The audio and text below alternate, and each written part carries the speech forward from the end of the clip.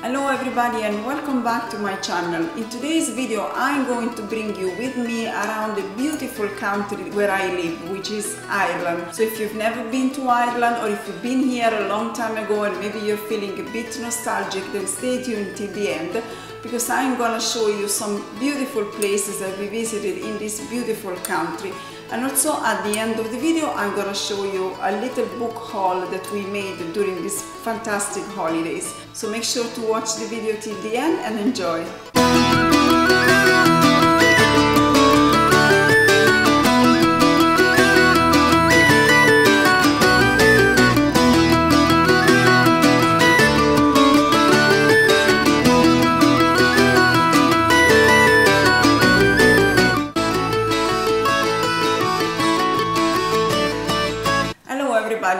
Welcome back to my channel. My name is Deborah and I'm the author of the blog and YouTube channel She Mams with Oils. So if you're new here, thank you so much for joining me today. And in this channel here, I share mainly our life here in the beautiful countryside of the south of Ireland. And although I was born in Italy, I live here and I have been here for many, many years now. And I live here with my husband and our three children and we have now three dogs and we also have four chickens and sometimes I also share little glimpses of our country life. Mainly this channel is about DIY recipes. I show you lovely food recipes every now and then and seasonal content around that. But generally my main focus is to show families and especially moms how to live a, a more natural lifestyle and I show you some simple hacks and DIY recipes to make your cleaning products or maybe beauty products and mainly I focus around the use of completely natural ingredients that you normally have already in your kitchen. But sometimes I also share vlog style, the adventures that we have on our daily basis and what we do. And last time I spoke to you, we were just getting ready to go on holiday after the school was finished. And uh, at that time we were just about to go back to Italy for a few days. We hadn't been in a few months and we were really looking forward to some sunshine good food and of course uh, visiting our families. And let me tell you we had a fantastic time. Now of course my children have been there many many times but there's always something new to see. And uh, of course we hit the major and I would say probably more visited tourist uh, attractions like uh, we brought them to see the Vatican City and the Colosseum and all the area around uh, the Colosseum and the Fori Imperiali, all that beautiful area. But we also brought them to see some places that they actually had never seen before. I am originally from Rome, so for me that area is very familiar and both my family and my husband's family they both live there and uh, so it's it's easy for us to go visiting around and in the evening we can just go home. So we brought my children to see this beautiful area of Rome which is really really in the city center which is called uh, Trastevere which is a very very popular area. And it's full of these beautiful cafes and restaurants and uh, as you can imagine the nightlife in that particular area is really phenomenal. And you can it's just so beautiful. You can just sit outside it's an area that is not too frequented by cars. So it's easy to you know to walk in the streets and it's very very safe. And all of these beautiful cafes and restaurants uh, they have all uh, tables and chairs outside. And so in the evening in the summer when you know the temperature has cooled down a bit it's really really nice uh, to go and sit there and maybe enjoy a drink or a meal and listen to some live music. It was really really nice. And uh, my children were really impressed i have to say. They really liked that area because they hadn't seen it before. And so it was really a pleasant surprise for them. The temperatures were really really soaring. I am sure if you watch the news uh, regularly you know that uh, at the moment you know the whole of europe is under this very oppressive fog you know of heat uh, you know the temperatures are really really high which is you know in a way it's also normal. It's summer. And when we were there at the end of june it was really really hot. The hottest day that um, was recorded when we were there was 39 degrees uh, and so it was really hot but it was so beautiful because anyway there was no pressure we could go out you know at our leisure and uh, just rest in the shade whenever we wanted. And obviously we made sure to have loads of fresh water and ice cream as as you can imagine. And then we came back home for a, a few days. And after that we decided to well we had everything organized already. We we started traveling a little bit around Ireland. This is something that is relatively new for us because uh, up until uh, um, COVID, so 2020, um, we normally would have spent all our summer holidays, uh, maybe for a week or two if we could, abroad, and we went to visit different countries in Europe. But of course, when COVID came, people could not travel abroad. And so that's how we really rediscovered the beauty of this country. And so we went to visit some different places in Ireland uh, every single year after. So this is our fourth year traveling around uh, Ireland. So, so, this year we wanted to kind of follow up on this tradition. So we set off uh, and we drove north. So first we made a stop for a few days in Dublin, which is a city that I really, really like. I absolutely love going uh, to Dublin. It's a big city, the shopping is fantastic as you can imagine and there's loads of lovely small independent shops and independent cafes and the atmosphere is just so beautiful you know the food is excellent. And we have discovered one of the last times that we were there uh, this beautiful pub that is in the really in the city center in temple in temple bar.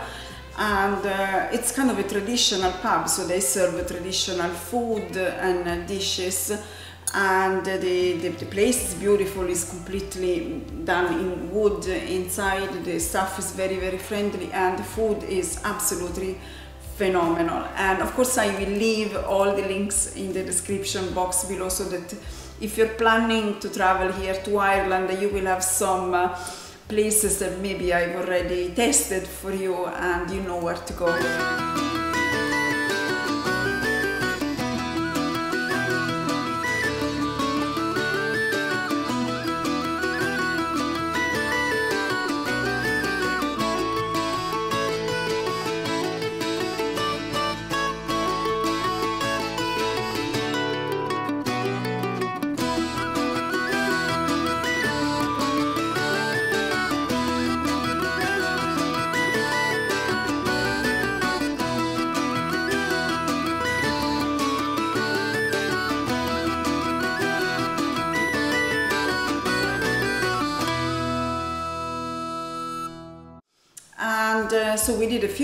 Uh, obviously in Dublin a little bit of shopping. And we discovered this absolutely gem of a place. Now I have also lived in Dublin and I have you know visited anyway loads of times even now you know that we live here in the south. But this place is in an area where I don't normally go and so I didn't know that it existed. I was just googling. We, you know, as you know, we're big fans of books in my family and uh, so we were looking for uh, some books uh, to buy, you know, something like that. And apart from the, you know, the, the chains of bookshops that we have here, we have the major one which is called Eason's and then we have uh, Waterstones which is uh, based, I think, in the UK and but there are also small independent bookshops and whenever we can we like to visit those. So we visited a few of the small ones and some of them are really really beautiful and they have beautiful editions even of classic books. But then just by accident really we discovered this that is uh, you know claims to be the largest independent bookstore in Ireland judging from its sheer size I would you know, I have no issues in believing that it is the biggest one in Ireland. And this bookshop is called the Chapter Bookstore. And again, I will leave the link in the description box below because they have a beautiful website and you can actually order online. Now, let me tell you, I don't think I have ever, I don't think I've ever seen a bookshop as spectacular and as beautiful as this one. And I have seen a few And of course, I come from Rome, which is a very big city, and we have loads of beautiful big bookstores. This one was just phenomenal, and we spent there, I think, about two hours or something like that.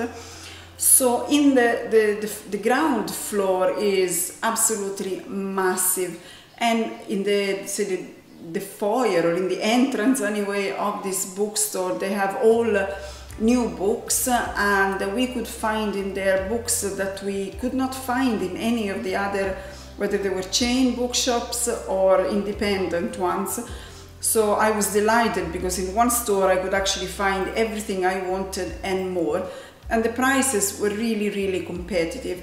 But at the back of the bookstore, which is as big, if not probably even bigger than the front of it, they had all second-hand books. And let me tell you, that was just, uh, I've never seen anything like this before.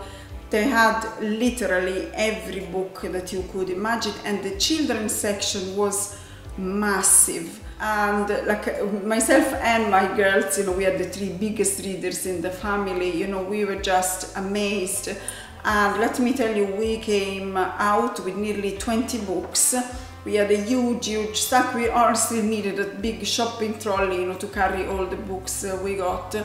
And we just couldn't believe the quality of the stuff that they have and also the quantity. And we got uh, they had used books for one euro or for 10 euros uh, depending obviously on the book. So I got some of them for 5 euros and some of them of course we bought full price. So as I said it was just uh, one of the best bookstores that I've ever seen and now I cannot wait to go back to Dublin so that we can go and buy more. I was really, really impressed and I said to my girls, look, let's buy as many books as we want, of course. And then the next time we are in Dublin then we'll come up with a list uh, and we can browse and see what other books um, you know we want to buy. And of course I understand that some of these books especially the new ones you could probably find cheaper on Amazon but personally I really like to support small independent shops now this was not small in size but anyway it's an independent bookstore and it's an Irish owned one so I'd rather support these people rather than Amazon. And now, when I do buy from Amazon loads and uh, many, you know, very often. But in this case, I was really happy to spend my money there, and I will be definitely, definitely going back. And I will leave the link so that you can see yourself the choice that they have. And at the end of the video, I will show you the books that uh, I got so to give you an idea of uh, you know what we get what we got there and what you can find. So that was Dublin. And then after going to Dublin we traveled we started traveling a bit up north which is far away from where we live. So we took that's why we stopped so that we didn't have to drive maybe for five or six hours all in one go and um, so then we went to visit Malahide Castle which is absolutely beautiful, beautiful, stunning place. And unfortunately, the last time we had been there, I don't even think we had my youngest son. So probably it was 10 years ago or something like that. And it's just as beautiful, if not more, uh, just as I remembered. And so the estate where this, the castle grounds uh, are is absolutely stunning. They have these beautiful, beautiful botanical gardens that are completely open, so you can go and visit. And uh, the first thing you see is this butterfly house. So you go in and there's all this, it's like a greenhouse, so it's completely enclosed, obviously need to keep the butterflies safe inside and basically you walk and you have these beautiful butterflies uh, just you know just flying around you because they're used to people and anyway the space is enclosed uh, and it was really magical and they have all a little area with the cocoons so you could actually see the cocoons and I suppose if you're lucky you might get to see them when they're actually coming out of the cocoons. Now we didn't see that but we could see the cocoons on one side. And then we went and saw the botanical garden, so we had a lovely, you know, walk around and they have this beautiful cafe inside but they have the most amazing food. So we stopped for tea and cake and cream. It was just gorgeous, gorgeous food. and after that then we visited the actual castle and to go in there you book uh, the specific time given to you for the tour because you're not allowed inside on your own but the tour is completely worth it and it's included anyway in the same price. And of course being a castle it's haunted by ghosts. And the tour ends actually with the visit to the big dining hall which is haunted by this um, ghost of a lady that killed uh, i think it was three of her husbands. And also there is um, a little ghost that we couldn't see but I know that he was there. And, and this little ghost belonged to the jester at some point in time in this uh, castle who was in love with one of the ladies there. But of course this love was not permitted because she belonged to a different uh, social circle. So it was not allowed. And that's why now he haunts the castle because he still hasn't recovered from this forbidden love of his life. So after we moved up north again and we went uh, first thing in the morning, the following day we went to visit uh, the Mourne Mountains for a beautiful hike. You know, if you follow me that we are a very outdoorsy kind of family, we like uh, walking in the woods and doing hikes. And so we couldn't uh, not do a proper hike. Now when we arrived the weather was absolutely awful. As we were trying to actually get out of the car a big shower came and we were nearly drenched. We just made it in time to get back into the car. But after that then the rain thankfully stayed away a bit there was only a few showers here and there, but it was fine. It was nothing that we couldn't deal with because we had the proper gear, of course, on us. And uh, now in, uh, in this specific area now there are different paths, so depending on your level of fitness and also the, you know, the age of the people with you, you can go from the kind of easiest and fastest hike to the more difficult, they call it the black um, the black line or the black path, whatever it is that they call it. And so we went for the red. We didn't feel that with my son being younger, uh, maybe we could go for the black one. But it was a very long one anyway, and we were very, very happy. The, the, the mountains there, you know, the, the woods are exceptionally beautiful. You know, nature in Ireland, as you can imagine, is really, really something, you know, to behold. And so we were very happy. And there was lots of people even swimming uh, in the in the water there all despite the weather. And it was not warm by any standard but it was really really nice. And we spent nearly all day all day there because you know it was longer hike. But after that the weather literally improved and the sun came out so we decided to see something else so we went to see what's called castle ward which is another beautiful, beautiful place that I actually had never even heard of, so it was something completely new to me. And I am glad that we went. There is this historical home that you can see inside, and uh, this was a free tour, so we could just see, and just just wander around. We were following a path, obviously, but we could, you know, just see what we wanted. And um, they had this beautiful library that obviously caught our attention it was so so beautiful with all these lovely old books and I could just picture myself uh, sitting there you know on a winter afternoon on a winter evening with the fire on and uh, with a little lamp next to me it was really really charming and so beautiful and not only that they have also hiking uh, you know uh, paths hiking areas that you can see. Now we didn't go for that because we were just coming from a very long hike so we didn't feel that we could add uh, even that. But you know they are there anyway and you can also see the ocean from there. And so this would be on the northeast side of Ireland and so this you know is just basically what you see across would have been the UK and uh, also in this specific um, you know in the grounds of this castle ward is where they actually shot part if not probably everything of the famous uh, TV series uh, Game of Thrones. And on the grounds as well of this uh, castle they were having they have this little courtyard inside obviously the inner part of the castle and they have this beautiful second-hand bookshop and they have a lovely cafe and actually they were doing some live jazz music in the afternoon when we went so that was uh, kind of like a little cherry on top of the cake and it was really really nice. So just to sit and listen to the music and relax with a warm drink and some food it was really lovely and also they have a little kind of gift shop. So we went in just to have a look and they sell ice cream as well. And I found a little treasure. I couldn't believe that I actually found it there. So I got it. I will show you now.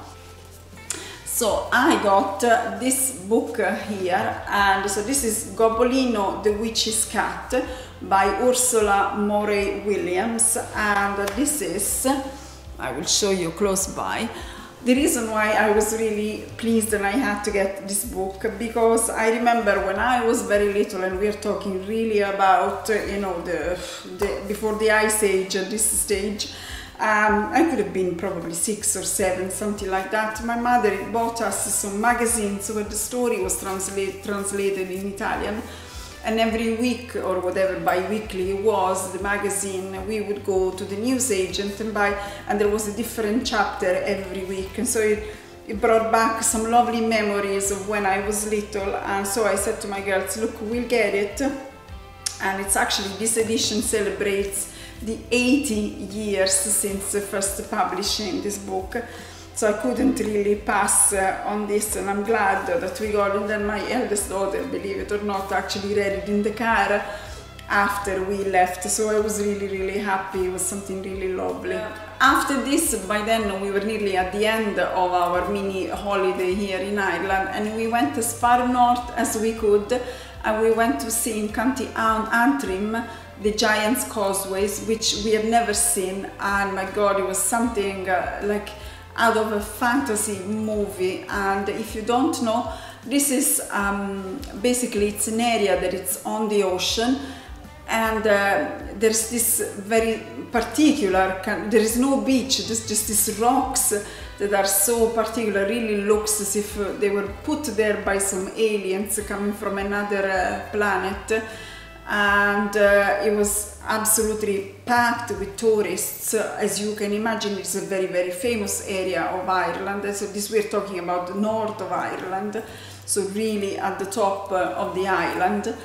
And um, it was fabulous. And uh, obviously I, I am showing you now what we saw. And it was a bit scary because I don't do very well with heights but it was amazing. And of course that came with a mini hike because um, you know from where you arrive and where you park you have to walk all the way down to the actual causeway and see uh, like where the ocean is where the beach would ideally be. And then you have to walk all the way up. And uh, it was lovely anyway. And then there's also this bridge that you can see. It's a rope bridge. Now I didn't go there because my children didn't want to go. It was a bit scary for them so I stayed back with them. But my husband did go and visited and in the end he did say look it's probably for the best that the kids uh, didn't come and especially even myself you know I really because you're suspended 25 meters high. So I just I didn't think that it was the right thing for me to do.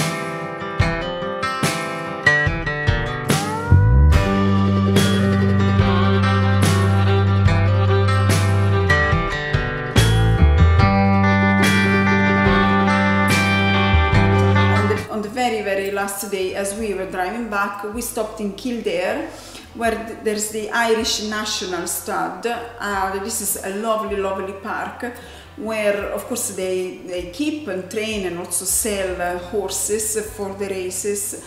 And you could literally spend there all day. The weather was really nice. It's very, very famous because they have attached to the studs they have these beautiful Japanese gardens that you can visit and also then they have the studs themselves and they have a little Thatch cottage. They have a beautiful play area for kids. Okay so as promised i'm gonna close this video about our holidays and i'm gonna show you what books i got in that beautiful independent bookstore in dublin Now, I already know that I forgot to bring here one of the books that I got, which is The Girl with the Pearl Earring, and uh, I'm sure that you know what book I'm talking about. There was also a very famous movie with Scarlett Johansson as the girl with the pearl earring. And I have read already that book, but I have read it in Italian. So I decided I wanted to reread it, and this time I purchased the English edition, and I just bought it second hand and unfortunately I forgot to bring it here but it's in my sitting room. So I got and this was only 10 euros despite the fact that this is actually a new book the new Agatha Christie from Lucy Worsley which is really the biography basically of Agatha Christie which I'm sure everybody knows was probably the biggest if not like definitely the biggest you know crime and mystery thriller of all times and she was English and she only died in the 70s so not too long ago after a very long life. Now this is the book that I have just started. I've only really started so I'm at page 10 so I don't have much to say yet but what I've read so far I really really like and also there's loads of pictures inside so you can actually see I get little glimpses of uh, her and her life and it's lovely to see because she was born in 1890 uh, 1890 sorry. So you can see loads of the pictures and I will show you now are really Victorian and it's uh, you know for me it's you know very astonishing to see how this was like you know somebody that died in 1976 I think it was was born in a completely different era with different uh, costumes and uh, so and that wasn't too too long ago. I'm looking for the pictures. Yeah that's what I wanted to show you here. See this is a picture of her with her mom. So there's lots of lovely pictures inside. And of course that's uh, her story which I find very fascinating and if you're not familiar with the story of Agatha Christie there was a time in which she completely disappeared for a few days and so Lucy Worsley basically explains from her findings what she thinks happened during those days. So I'm really interested and intrigued. I want to know as well what happened. So this is the book I'm reading at the moment. And then I got second hand The Miniaturist by Jessie Burton. And again, this is a book that I've been meaning to buy and read for a long time, but I never did. And then because we were there and I thought, look it's only 5 euros so I got this one. And if I like it I might buy also other books from the same author. And then I got from Alison Weir this book. Is called The Lady Elizabeth and again this is second hand and uh, this is about obviously Elizabeth I uh, so Tudor so during her reign and um, this is the part of history that has always interested me the most uh, aside from anything to do with Second World War. And so every time I find books that are based on the real, real events, or even if it's completely fiction uh, products about the Tudor times, I always buy them because uh, you know I'm very very interested in this uh, part of history. I did my college dissertation on the, the Tudor family, so I'm uh, I'm very happy to read everything that I find about them. And then I found this, which is we couldn't find in any of the bookshops we visited uh, here in Cork or up in Dublin. And finally we found it there. It's called Legends and Lattes by Travis Baldree, I think it is. And this is the cover. Now this is actually for young adults. Now I did buy myself and I bought this new. So this is not a second-hand book, but it's actually for my daughters. Um, this was recommended in one of the, the booktubes, you know, the YouTube channels that I follow about books. And uh, I thought that it was very intriguing the way they were describing it. Now, I know nothing about it. I forgot since I heard this book because it's been so long and we couldn't find it. But I'm really looking forward to read this and um, if um, and then I'll read it first probably and then I'll, I'll give it to my daughters and uh, or maybe they'll read it back first time not sure but anyway I'm looking forward to reading this one as well and then last but not least I bought for myself finally got Babel by R.F. Kuang, which is a Bible of a book. It's absolutely massive. So it's 546 pages, but and I'm used to read reading very mm, big books, but the font is also very small. I will probably need my glasses to read this one. And uh, I know that I'm probably very late uh, to join uh, the party because this book has been, you know, around for a while. But again, this is another book that I couldn't find and I didn't want to buy it online. And I was almost resigned to buy it on Amazon if I couldn't find it anywhere else. But anyway, we were there, and again, this was a very good deal. And it was one of those books that had a sticker here that said that if I was to bring it back after within 30 days from purchase, they were gonna give me something back because, of course, they want to have it as second hand. But of course, I'm gonna keep it because, first of all, I don't live in Dublin and there is no chance I'm gonna go to Dublin the next 30 days but uh, because you know I'm um, I'm very particular with my, my books and I normally keep everything even though I know that I might never reread them but I, I cannot just part with my books and one day I might read it again or I might pass it on to my my children I don't know.